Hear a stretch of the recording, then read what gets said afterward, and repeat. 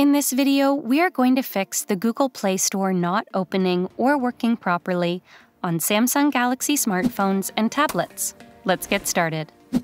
If the existing cache data has become corrupted, the Play Store might not work as expected on your Samsung device.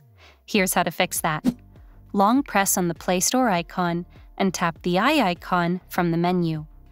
Navigate to Storage and tap on the Clear Cache option at the bottom.